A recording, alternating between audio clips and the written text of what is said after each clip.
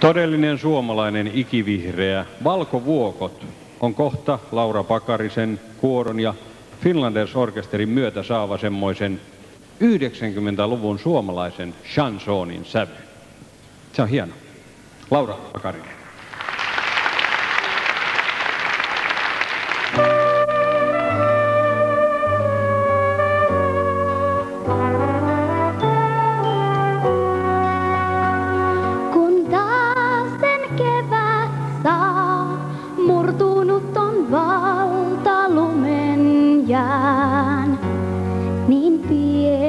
Valkovuokot silloin nostaa pään.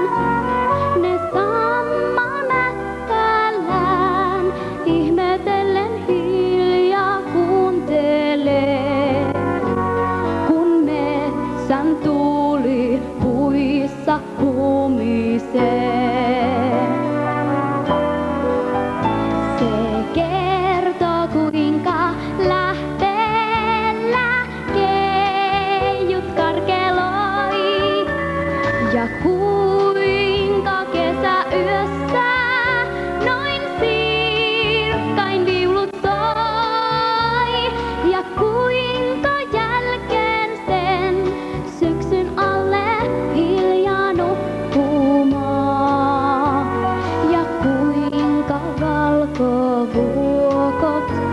不多。